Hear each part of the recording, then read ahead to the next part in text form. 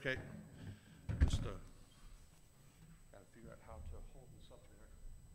Yeah, the, the computer's not always the best. We're good? All right, well, welcome back. It's um, almost on time, 30, 30 more seconds. I think I'm getting this down. Uh, welcome back to the Facebook world that's out there as well. Um, this afternoon, uh, we've got a couple things going on, and the first one is working with a gentleman that I have the option, uh, opportunity and, and honor to interview earlier 2020, I think it was. I don't, know it was 20 or 20 or 21. Um, uh, and, and I quickly discovered that Jari is uh, a wealth of knowledge. that's, that's a nice way of putting it. Uh, he knows more about taps and about bugles than I think there is anybody that's currently walking the planet. Um, and so we re- immediately reached out to him and said, Hey, I want you to come out to Centennial Week. I'd like to be able to present this to anyone who's there in person and out, get it out on Facebook once again and give you the opportunity to, to, to tell the world about the buglers that had an impact during the unknown soldiers' burials from 1921, 1958, and 1984. And I think you're going to see a little bit of that today. I'll let him talk about the wonderful program that he had on Sunday, um, which I was honored enough to be able to come to and speak. But if you've never heard the mass playing of taps by bugles and trumpets, trumpets like uh, we did on that day, uh, it'll definitely bring a tear to your eye. It was, it was impressive how you did that. So if you might, in your comments, find a way to talk about that, it would be good. I'm going to get out of the way now, uh, take a look at some of the things that he's brought up for show and tell, but uh, I'd like to turn it over to our good friend Jari. Thanks, Dan. All right. Thank you so much. I'm really honored to be here. And as Gavin said, we had a program at Arlington National Cemetery this uh, past week. It was called Taps in Honored Glory, and it was a commemoration of the um, centennial of the Tomb of the Unknown Soldier, and also looking at 100 years of taps at the tomb. Because taps is a, a call, of course, that is sounded. It's part of the ceremonies at the tomb, and it's, it's a very important, integral part to every ceremony that's at the tomb. But uh, today, we're going to talk about the bugler who first sounded taps at, um, at the tomb. And I'm going to get this all straightened out here so I can work this. Good. On November 11, 1921, an Army bugler sounded the call of taps on the plaza of uh, Memorial Amphitheater at Arlington National Cemetery, bringing to a close the ceremonies for the burial of the unknown soldier of World War I. The interment of an unknown soldier from the Great War was an idea started after the interments of unknowns in, in Great Britain and France in November 1920. After World War I ended, Great Britain and France each repatriated and buried one unknown soldier on Armistice Day, November 11, 1920. Great Britain buried its unknown warrior inside Westminster Abbey in London, and France buried its unknown soldier at the base of the Arc de Triomphe in Paris. These unknowns would stand in for utter British and French service members who, whose remains could not be identified. The large and impressive ceremonies for the French and British unknowns led to a desire uh, to honor an American soldier in the same way. On December 21, 1920, Representative Hamilton Fish III of New York introduced House Resolution 426, which provided for the return to the United States of the remains of an unknown sol- American soldier killed in France for, during World War I, and for the interment of his remains in a tomb to be built outside the newly constructed Memorial Amphitheater in Arlington National Cemetery. This is a, a copy of the resolution. And this is the east side of, of the amphitheater, just around the dedication in 1920. Uh, of course, they were to rebuild it and uh, put the tomb there. Now, in spite of delays brought on by the suggestions of alternate uh, locations for the burial spot and concerns about not being able to find an unknown and the change in administrations, Congress approved the resolution on March 4th, 1921. In the last hours of his presidency, Woodrow Wilson signed the House Resolution 67 into law. On November 11, the unknown soldier from World War I was interred at Arlington National Cemetery with great ceremony. The bugler who was chosen to sound taps at the ceremony was Frank Witchey, headquarters bugler, 3rd United States Cavalry Regiment. Witchey was born um, in, in uh, Kansas. We're not quite sure that where exactly he was born in Kansas because the records of this particular uh, uh, soldier shows Kansas City, uh, Kansas, Kansas City, Missouri, and another town in Kansas. But and hopefully one day we're going to be able to find uh, records exactly, maybe a birth certificate. Now, Witchey enlisted in the 3rd United States Cavalry in March uh, 1908. He was 16 at the time, but the Army allowed the recruitment of young buglers. The 3rd U.S. Cavalry was originally formed in 1846 as the Regiment of Mounted Riflemen, and the unit served in the Mexican War, and in 1861, the Regiment of Mounted rifleman was renumbered the 3rd United States Cavalry. By the way, this is um, one of his um, records showing his promotions. He, he uh, enlisted as a musician and was playing in the band, uh, then was promoted to band sergeant in 1918. Um, the unit also served in the Mexican War, as I mentioned, and they also served during the Indians War and the Spanish American War and in the Philippines. And they were actually there until 1908 when they were ordered home and stationed in Texas. This is the coat, the regimental coat of arms of the 3rd Cavalry. Now, during those nine years after 1908, they were spent on the Mexican border patrolling um, and, you know, running after Pancho Villa and stuff like that. And during World War I, yep, I thought I had one. Here's a picture actually of the third um, on the border down in Texas. During World War I, uh, they were um, uh, deployed to France and charged with the purchasing of horses, mules, and, and forage, the care, conditioning, and training of remounts before issue, and the distribution of those remounts the American Expeditionary Force. One of the squadrons saw action during the war, and Witchey was with them for 23 months. And he was involved with one battle, a battle at Chateau Thierry, where he was slightly wounded. After the war, the second squadron of the 3rd Cavalry was stationed at Fort Myer, Virginia. Because of its proximity to Washington and Arlington National Cemetery, the second squadron was frequently called upon to furnish honor guards and escorts for ceremonies and funeral escorts for the distinguished civilian officials and military personnel. It also became known as Pershing's Own because of these duties. Until 1941, the regiment provided the honor guard detail at the Tomb of the Unknown Soldier. Witchey was the regimental bugler. He was assigned to headquarters troop, and he sounded calls on a regular basis uh, on garrison and also for ceremonies in Arlington. Witchey became friends with uh, Lieutenant Colonel Jonathan Wainwright when, when Wainwright was assigned to the 3rd Cavalry at Fort Myer. Witchey's wife, Margaret, recalled that Wainwright had given her husband a gray horse, which he rode in many parades on Pennsylvania Avenue. In July 1920, Witchey married Margaret Murphy of Mahanoy City, Pennsylvania. The marriage took place at the chapel at Fort Myer. She had been employed by the federal government. They were to have four children, one who died in infancy, uh, a daughter, Margaret, and two sons, Donald and um, Francis, who both served, one in the Navy and one in the Air Force. This is the picture of them on their wedding day. Frank is to the right, Margaret is down at the bottom, and the other two are the attendees at the uh, wedding.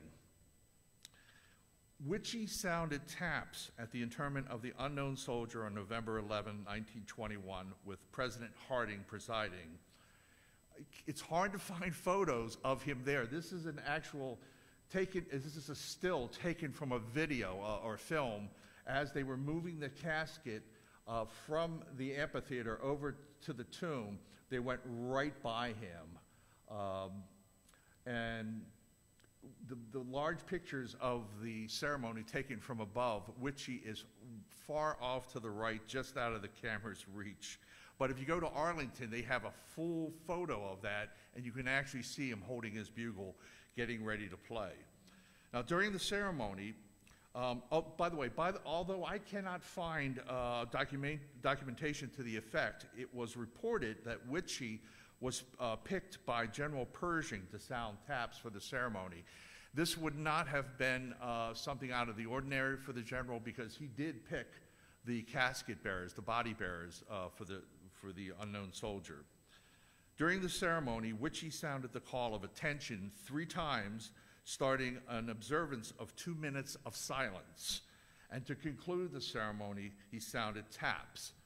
Now, a unique uh, aspect of this ceremony was the use of the new loudspeakers installed at the Memorial Amphitheater, which enabled the voice of the President, uh, President Harding, and others, plus the sound of Witchey's bugle, to be heard by the thousands who were attending the burial service. Also, uh, radio carried the ceremony across the country, marking the first time the President's voice reached multitudes in New York, Chicago, and San Francisco. Frank Witchey would go on to sound taps for the funerals of President Woodrow Wilson and President Howard Taft, along with uh, Lieutenant General Miles, uh, Lieutenant General Young, uh, Major General Leonard Wood, and Colonel William Jennings Bryan. He also sounded taps for Calvin Coolidge Jr., the son of President Calvin Coolidge, who passed away from blood poisoning at the age of 16.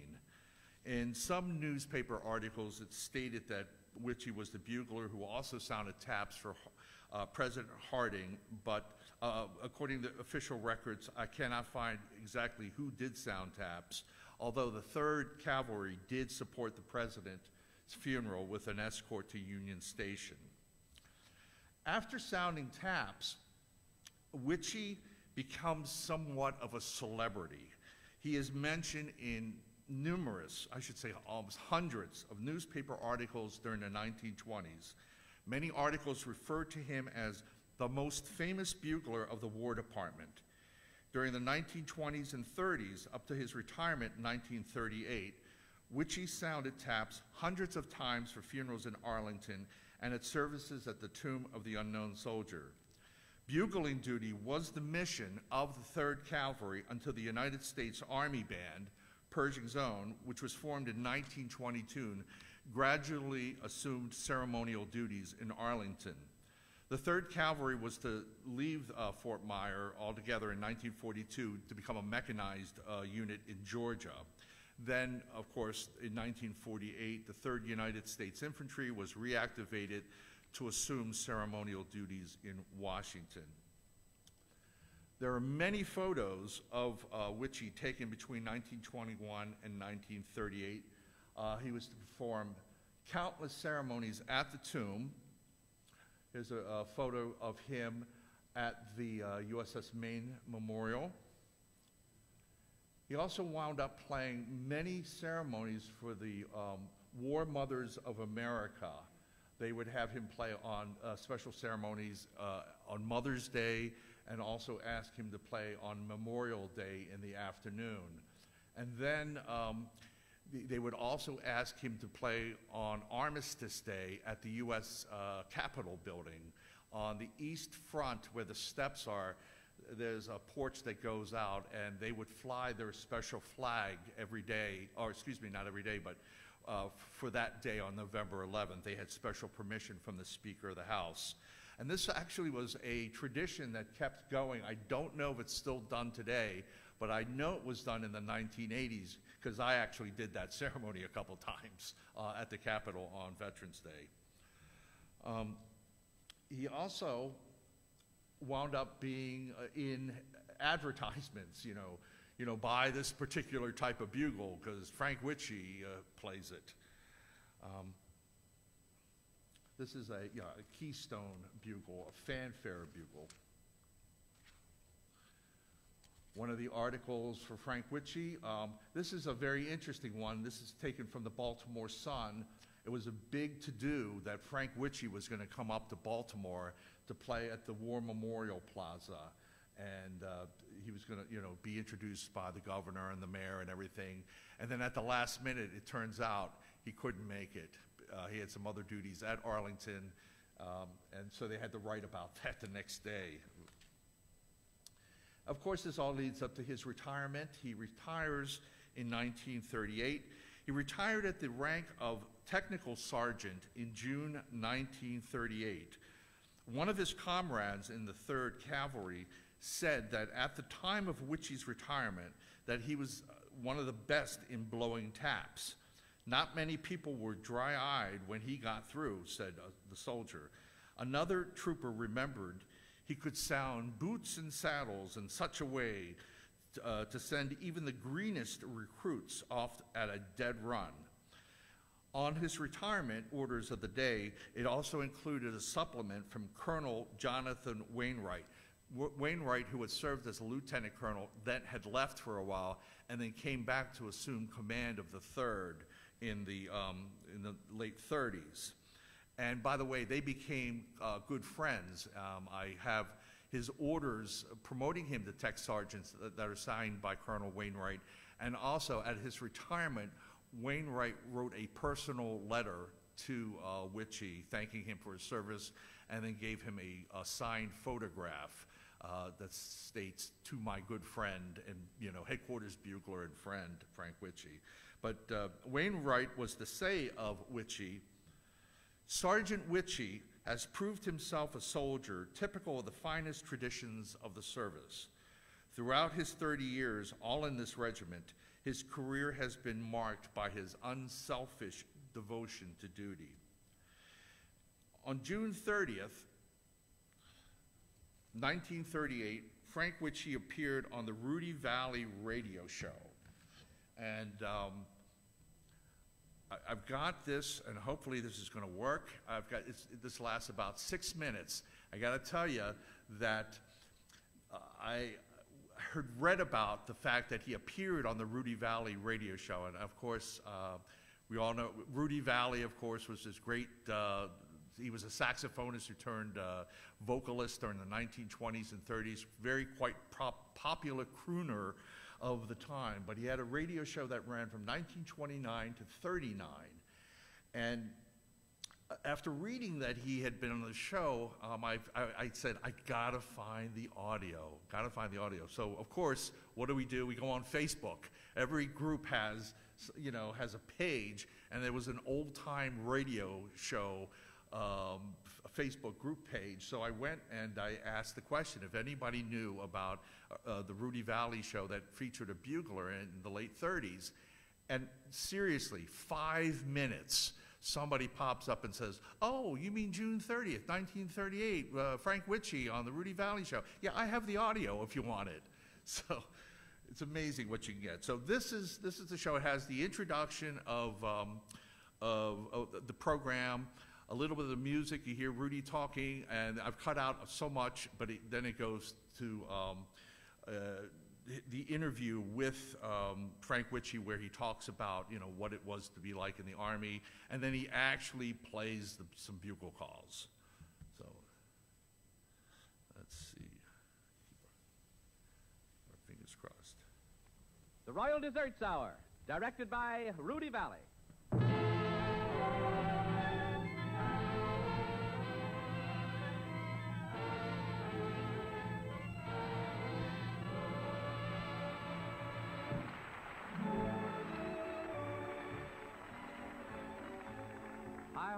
Everybody. This is Rudy Vallée and Company. The people of the hour tonight include five of the principal members of the cast of Broadway's newest operetta hit, The Two Bouquets. They will be introduced by the celebrated playwright Marc Connelly. Betty Lou Barry, and as a special patriotic holiday feature, the Army's most famous bugler, Staff Sergeant Frank Witchey, 3rd United States Cavalry, retired. Sergeant Witchey, sir, reporting for microphone detail. At ease, Sergeant. My compliments on your handsome appearance. You must have been very young when you enlisted. I was You hardly look old enough to be retired. I was 16 when I enlisted, Mr. Vallée. I thought that 18 was the minimum enlistment age. It was, but the recruiting officer didn't ask for my birth certificate. I see. Your Army career must have included service in France, Yes, sir. Sergeant. It did. The 3rd Cavalry spent 23 months overseas. Some of us were at Chateau Thierry and a number of other uncomfortable spots. Were you wounded? Slightly, yes. Who won the war, Sergeant? The Marines, of course. Everybody knows that. Do I detect a note of sarcasm in the sergeant's voice? Yes, sir, you do. Not that anybody wants to take away from what the Marines did. They deserve all the glory they get. But there were a few dismounted horse soldiers around there, too. You ought to know, Sergeant. I understand that modern warfare finds little use for mounted troops. That's right. Machine gun fires, turtle things, to horses. Yes, it's hardly civilized to treat horses that way. Is the 3rd Cavalry mechanized nowadays? Partly, yes. I imagine you old time cavalrymen don't uh, particularly care for mechanization. That's right. And you can hardly blame us for preferring a fine horse to a stinking gasoline engine. Do you think that cavalry will be entirely supplanted by mechanized troops? No, horses will always be useful. They don't run out of gas. Sergeant, our purpose in bringing you up from Fort Myer was largely mus- musical. I think a lot of former soldiers would like to hear a few bugle calls without the necessity of doing anything about the implied command. Let's run through part of a day in the life of a bugler. Might we have the first call, please?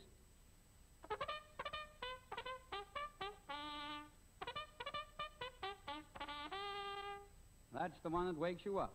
And as a one time, somewhat less than able seaman, I know you never want to get up. But then you hear this.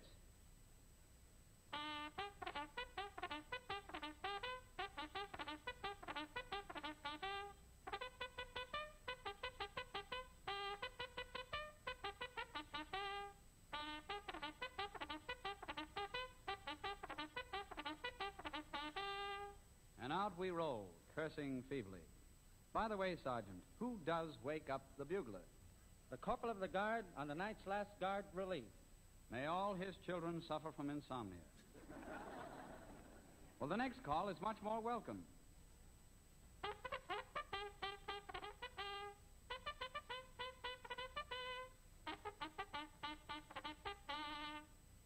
Soupy, soupy, soupy without a single bean. Coffee, coffee, coffee, the worst you've ever seen. And next we hear.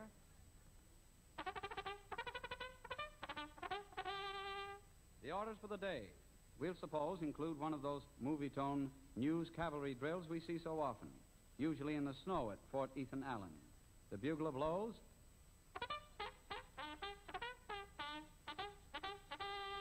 Boots and saddles. And then, with the cameraman carefully placed in a pit so that he can catch the horses thundering overhead, we hear attack.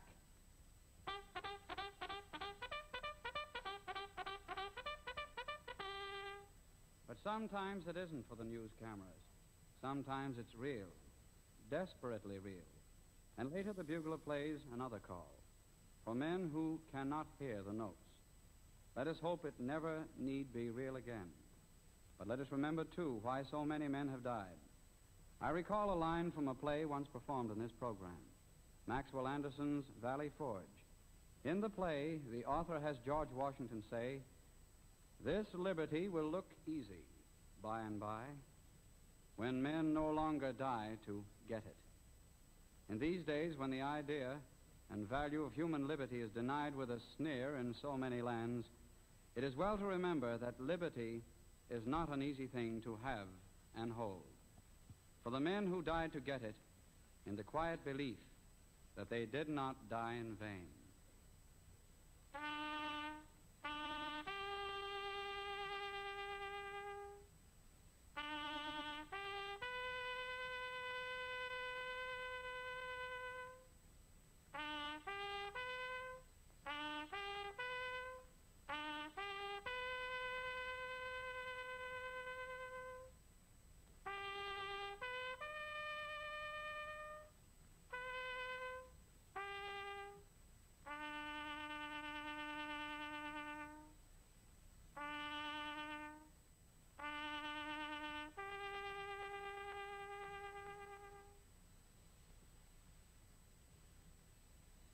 Thank you, Sergeant Witchey.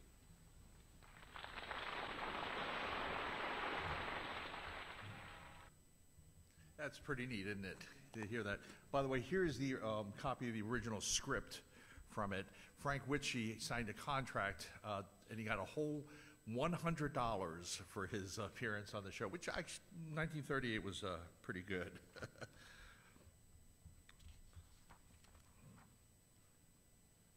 here's the article that talks about him being on the radio. And a shot of him, um, if you've ever been to Arlington National Cemetery, you know that there are special sections throughout the cemetery. There's one uh, for nurses, uh, one for doctors, and of course, there's one for chaplains, Chaplain's Hill, uh, which he sounded uh, taps for the dedication of the Chaplain's Monument. After his retirement, uh, the Witchey stayed in the Arlington area, the first living on Barton Street and then later North Oak Street. Uh, he worked as a guard at the U.S. State Department, um, which is interesting to note that um, he was promoted to technical sergeant in May of 1937 and then retired the next year. He was hoping to retire at the rank of master sergeant. I think back in those days, when you retired after with 30 years, you could retire at the next rank above. Uh, but the, the rules had changed several months before his retirement, so he was only able to retire at the tech sergeant rank. He says it was the, the worst, you know, the only break, you know, he ever got while he was in the Army. Um, but it was the difference. Had he been able to retire as a master, he would have made, a hun- uh, made $135 a month. Uh, retiring as a tech, he made $94, which is probably why he worked as a guard. Um, and by the way, um, is this the one? Yeah, this, this, this is very interesting. During World War II, when he filled this out, he was 52 years old. Um, the, the, the government was requiring all men of certain ages to fill out, I guess, for, for enlistment back in the Army. But he had just, you know, completed 30 years, my goodness. So, but um, in, 19, in September 1945, he entered Walter Reed Hospital and unfortunately passed away from heart disease. Um, he, was, he passed away on September 30th, 1945. On October 4th, as his uh, obituary, um, he was buried with full military honors on October 4th, 1945, with Ar- at Arlington National Cemetery. He's buried in Section 19. Technical Sergeant John Tunney of uh, Pittsburgh sounded taps for him. This is his, uh, the interment card, marking his, his information that would wind up, of course, on his headstone. And we stopped by uh, there on Sunday to lay flowers. We had the uh, family, his grandchildren um, are live in the area, and they they've been very kind to give me uh, information about Frank, provide me with uh, some artifacts. Um, and of course, I have been scouring eBay and uh, the Library of Congress for photographs, which you're more than welcome to, to check out when we finish. Another nice uh, image of the, his headstone with my bugle. Now, the bugle used by Sergeant Witchey was one that was originally issued to him by the, ar- uh, by the Army. It's, an, uh, it's the model 1892 field trumpet in the Kia G. It was made by Rifle and Hustel of uh, Chicago, and it's marked USQMC, United States Quartermaster Corps, on the bell, along with the manufacturer's name at the top, uh, just marked R&H Chicago. This company, by the way, uh, was a silversmith uh, business. Um, and between 1917 and 1918, they received contracts from the government to produce bugles, uh, not only large ones, but also small ones.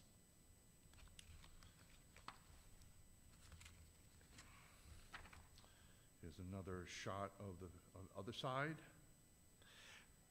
The day after he sounded taps for the unknown soldier, he purchased the bugle from the quartermaster of the department for $2.50 and had the instrument gold plated and had the following engraved on the bell. It says, taps sounded over the body of unknown soldier at Arlington National Cemetery, November 11, 1921, by Staff Sergeant Frank Witchey of Headquarters Troop, 3rd U.S. Cavalry, Fort Myer. Heard through amplifier at New York and San Francisco. And then he was also then to add on um, other um, ceremonies in which it was used uh, for General Miles and for Williams Jennings Bryan. In 1927, a collector offered $1,500 for the bugle, but he refused to sell it. Um, after Witchey's death, the bugle went missing. In 1961, the 3rd Armored Cavalry Regiment, which was now stationed at Fort George G. Meade near Washington, began searching for the bugle, uh, for which they wanted for inclusion in their museum. An article appeared in the Baltimore Sun. So they really were going, looking for it. the tabard, a tabard is also known as a bugle banner. It's, it's held from a, a, trumpet or a banner, or a trumpet or a bugle, and it's usually, it's a, it's a piece of silk, and tabards were authorized by the War Department in 1921, and what they are, basically, it's a rectangular piece of banner of silk or cloth hanging from the bugle or trumpet, and the design depends on uh, the, uh, regiment. Um, if one is regiment has a coat of arms, they would put that on there for them. And now, Witchey used several of them during his time. We also see him with a tabard that has the big number three on it, just like he has on his shoulder, uh, the patch. In late summer of 1961, they located the bugle in the possession of a Mr. Melvin White, a tax consultant in Alexandria, Virginia, who said Witchey had sold him the bugle. The bugle was presented to Colonel Donald Coles, the commander of the 3rd Armored Regiment, and placed in the museum, and has been in the regi- regimental museum ever since but is now currently at Arlington National Cemetery in the display room at the tomb. So if you get a chance to go there within the next couple uh, months, you'll get to see it and you'll get to see uh, the silk tabard also.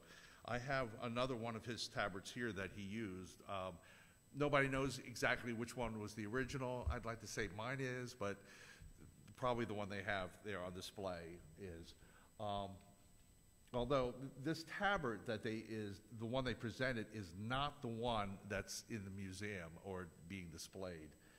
So uh, they may have given two, we're not sure. But anyway, if you get a chance to go over to Arlington and see it, it- it's a, it's a pretty looking horn. Um, Staff Sergeant Frank Witchey began a 100-year tradition of sounding taps at the tomb. To this day, taps is heard at the tomb performed by buglers from the premier bands of Washington, D.C. Now, I was honored to perform this task on a few occasions. Of my time with the United States Air Force Band, these were the most memorable and honored duty that I was tasked with. In 1958, the unknown soldier from World War I um, was joined by unknowns from World War II and the Korean conflict. They were buried on the plaza of, on Memorial Day 1958. Sergeant First Class George Myers of the U.S. Army Band sounded taps, and you can see him on the far right uh, sounding the call. On May 30th, 1984, an unknown from the Vietnam War was buried on the plaza. The bugler who sounded taps was Sergeant Major Patrick Mastrolio of the U.S. Army Band. Both Myers and Mastrolio are buried in Arlington National Cemetery in Section 34 near the grave of General John Blackjack Pershing. And I might add that this section in 34 is unofficially reserved for members of the United States Army Band. There are many band members who were buried there, including the bugler who sounded taps for John F. Kennedy. The tomb of the unknown soldier, of course, is guarded by soldiers of the 3rd United States Infantry Regiment, the old guard stationed at Fort Myer. Since assuming the task of, of, of guarding the tomb in 1948, these tomb guards have kept constant vigil at the tomb every hour of the day, every day of the year. And the tomb has not been left unguarded since 1937. Now, it's interesting to know that when the Third Cavalry started guarding the tomb, they, along with the 12th U.S. Infantry Regiment, who were both stationed at Fort Myer, they began the mission of guarding the tomb in 1926, replacing a civilian watchman who had been posted there during the day uh, since, the, since November 1925. Now, incredible as it seems, there was no military guard in the early years of the, of the tomb's existence due to the resistance of the, of the higher-ups to provide soldiers for this duty. Now, during the uh, years that the 3rd Cavalry guarded the tomb, their uniform was marked by the wearing of spare, spurs on their boots. It's hard to make out, but they, he is wearing spurs. In 1932, the original tomb, of course, was topped off with a large marble sarcophagus. And originally set as a daylight duty, the guard was extended to 24 hours on July 2nd, 1937, and it's been guarded there ever since. Now, the, always an impressive sight. The bugle call of taps has had a long association with Arlington National Cemetery. Today it is sounded at the many interments at Arlington as well as the tomb of the unknown soldier when a wreath is presented in honor of the unknowns by the many uh, military, veteran, civic, fraternal, school, and other organizations that travel to Washington to pay homage. It is also sounded at memorial services and ceremonies held in the uh, cemetery. It's difficult to visit Arlington and not hear the 24 notes of the call sounded by a military bugler from one of the four bands in Washington. Um, taps originated during the American Civil War, first replacing the uh, regulation call of extinguished lights in 1862, and then later gaining an association with military funerals by the end of the war. The call was usually sounded after three volleys of rifles were fired. This practice was performed at military funerals following the Civil War and then finally put into regulation in 1891. The first burials at Arlington took place in 1864, but no one knows for sure exactly when taps first was sounded at a graveside ceremony. But certainly by the 19 uh, by the 1870s, taps was uh, part of the military ritual at funerals and gradually became part of the memorial services. The first Memorial Day service was held at Arlington May 30th, 1868. However, going through the program that day and reading newspaper articles, there is no record of taps being sounded at that first uh, ceremony. But as years went on, taps became an important part of the annual program. Um, TAPS is the only call that has a dual purpose. It is our national song of farewell as designated by Congress. Sounded and is sounded at military funerals and memorial services. And it's still used as its original intent as the lights out call in the evening.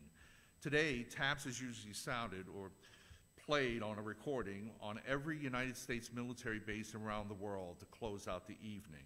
The call can be heard at Arlington in the evening at 11 o'clock as the notes drift over the headstones of military personnel who once went to sleep with the bugle sound in their ears. Military band or military funerals in Arlington are supported by the bands in Washington. Bands are used in full honor funerals to lead the, a procession through Arlington that includes a military commander, escort troops, casket bearers, chaplains, and a horse-drawn caisson.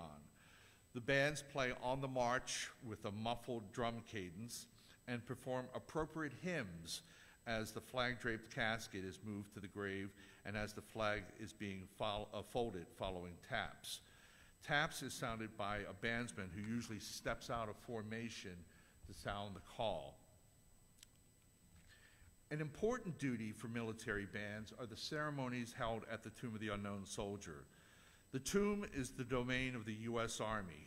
Being the senior service, it is charged with the responsibility of guarding the unknown soldiers and providing buglers to sound taps at ceremonies held on the plaza. Buglers are selected from the United States, from members of the United States Army Band. These buglers sound taps at the many wreath ceremonies held daily. Usually done in two shifts, morning and afternoon, they report to the sergeant of the guard or the relief commander under the memorial amphitheater.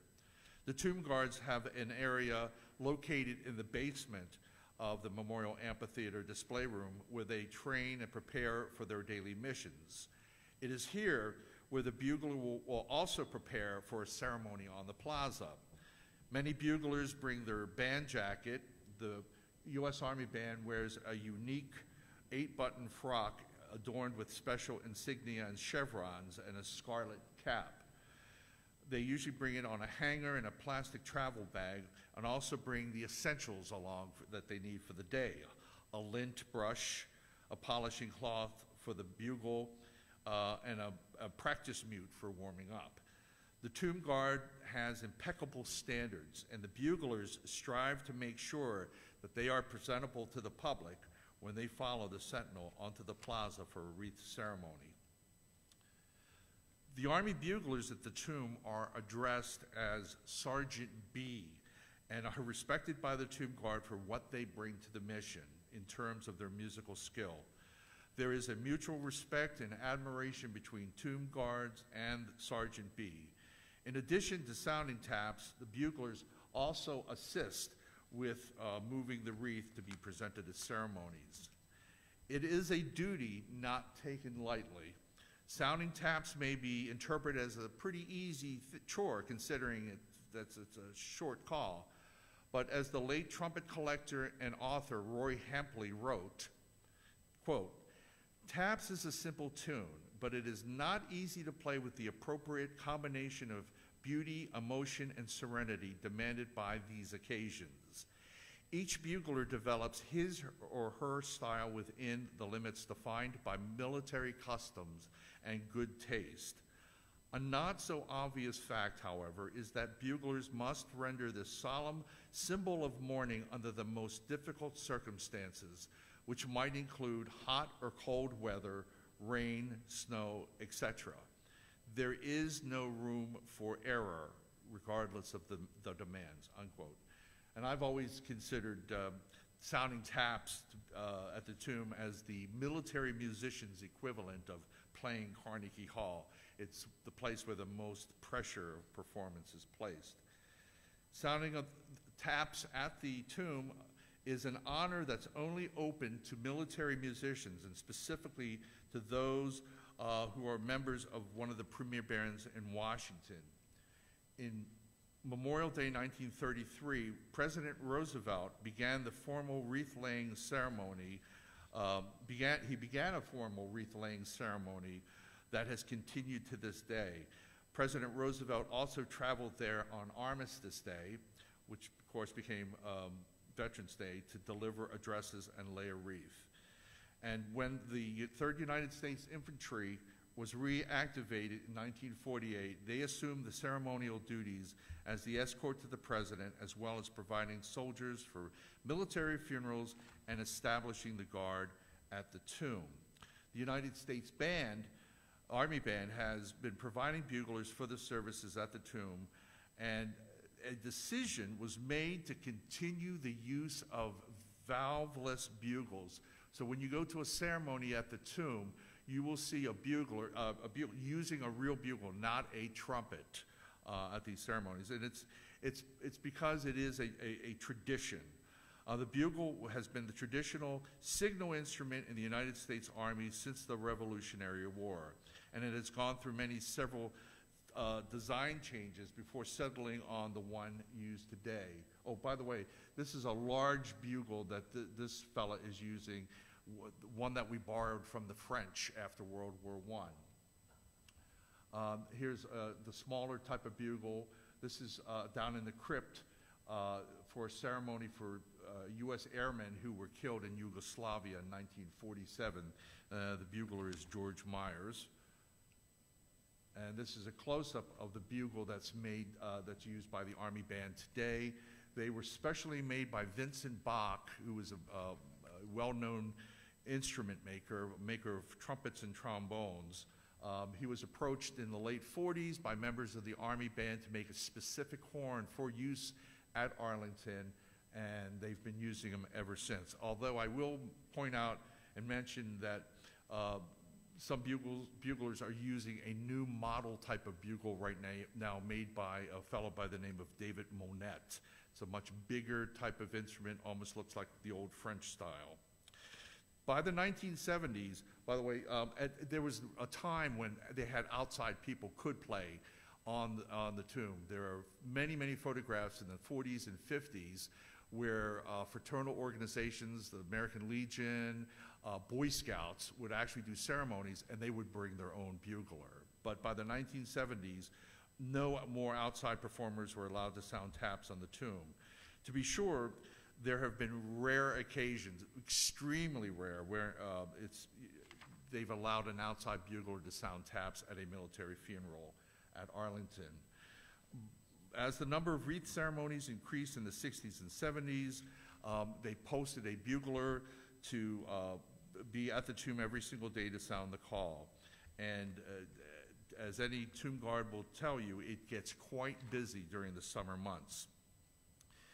To the general public, hearing taps sounded on the plaza in front of the Memorial uh, Amphitheater is a memorable and moving experience.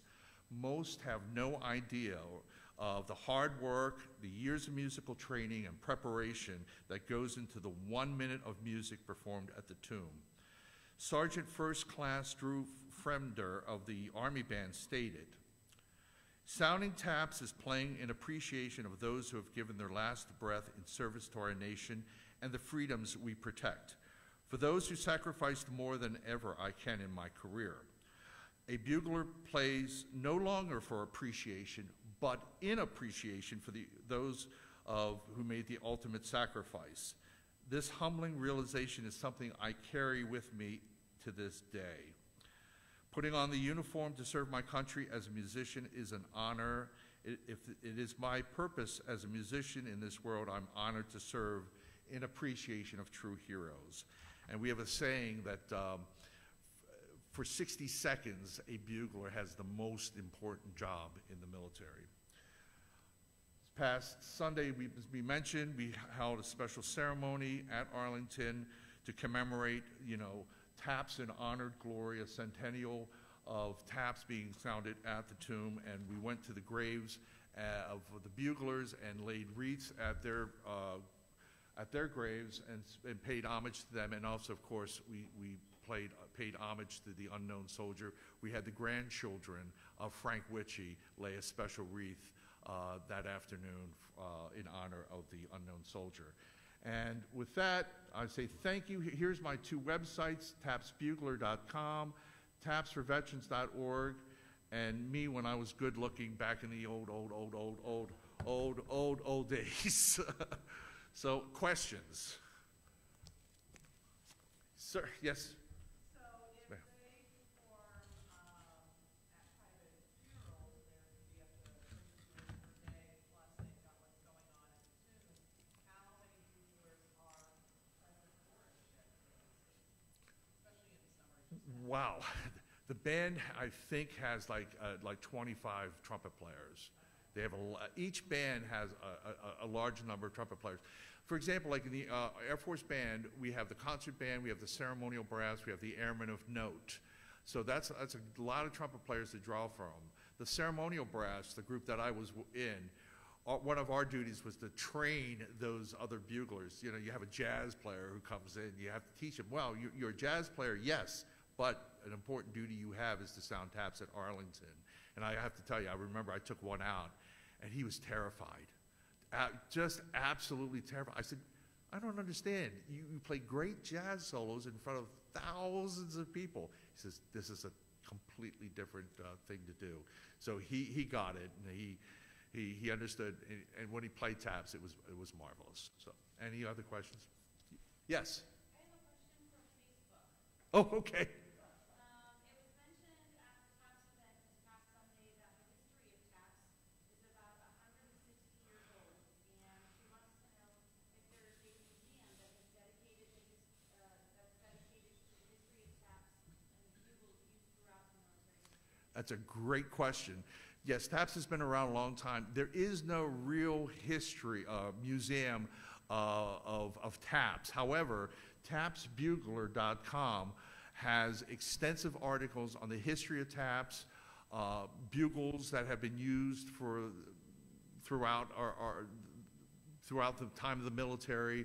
There are articles about various buglers who've sounded the call, um, and some, some fun articles too. Uh, not just all serious, but you know, some of these buglers were characters. Like, uh, for example, there was a, a, um, a, non-military, a civilian who for 36 years would play reveille every morning in his little hometown. He built a little uh, post, and every morning at 6 o'clock for 36 years would, would play taps. And then, of course, we had a retired Army sergeant in Baltimore who wound up playing at the Orioles games during the 1960s and 70s after he retired. And I remember as a kid going to Baltimore Orioles games and hearing a bugle player there. So I did some research about that, uh, that guy. But the answer to the question, no real brick and mortar museum, um, but if you go to tapsbugler.com, you can see lots of photos, get lots of information, and the best thing is you can always send an email with a question, and I'm happy to answer. Okay, thank you.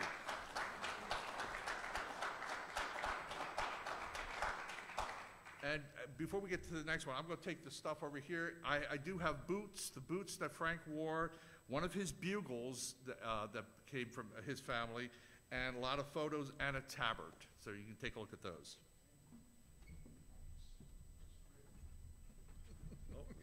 He's- not going to get us, Oh. get away that easy. Uh, I'd like to answer your question real quickly because I've been having a good discussion between the Society and the United States Army Band, Pershing's Own, and, the, and Sergeant B. Um, they, they have one bugler that is assigned to the tomb per day. That's their sole mission. And then the remaining buglers, as you already mentioned, have additional duties within the cemetery.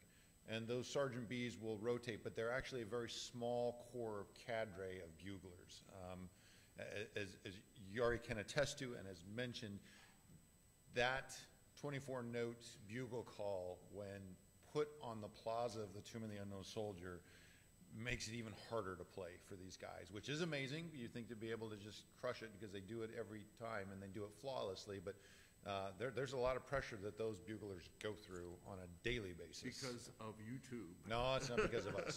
That's because of, I've already presented Jari with a coin, but I'd like to, again, thank you for the opportunity to come down here and educate us on the bugles, especially during the centennial, and highlight those buglers that played such a key role in each one of the unknown soldiers' burial, because that is, is important. We talked about this on Sunday, how they, the, the, the general public may forget, the families may forget what is said at the funeral, but they will never forget the sound of taps at a funeral, and it's all because of people like yourself. So thank you so much for educating us. It's my honor. Uh, and please come up here and take a look at all this. We got a little bit of time, so he doesn't have to move it too far, but take a look at some of the photos. Uh, admire the bugle, the boots, which are really impressive, actually, for, for those of us that like good leather and things like that. But thank you, Jari. You're totally pr- appreciate it. Um, we'll keep this on for just a little bit more, but uh, we do have one more presentation uh, here in the afternoon. I believe it starts at about 3 o'clock, and that'll be Jeff Gottesfeld coming in and talking about his children's book, which will be very interesting. So those of you out there in Facebook world or online, uh, please take a break, come back and join us, and then we'll, uh, we'll do this again. So thank you for taking the opportunity to come down out of your day, spend it with us, and, and learn some unique history. Thank you.